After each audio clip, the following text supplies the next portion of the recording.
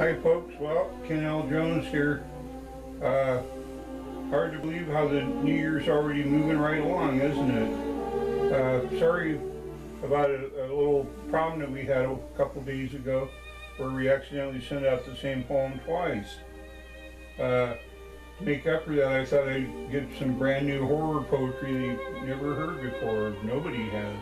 I just wrote it. This one's, first one's called uh, for all that lingers on in nightmares.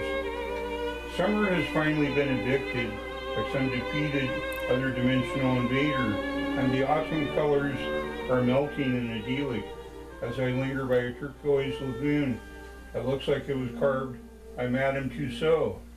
Soon will come the goblin's hoedown until waves her ice wand at unseen fairy princess, frosting the watchtowers until they are as pale as vanilla ice cream. In these days, when old family photos are worshipped at by me as if they were luminous, beautiful temples, now that my mornings bang into one another like the wind chimes on the front porch of a neighbor, I hope I never have to meet. Uh, I hope you enjoyed that one.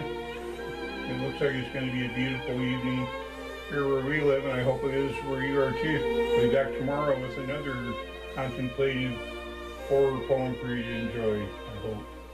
Okay, see you tomorrow.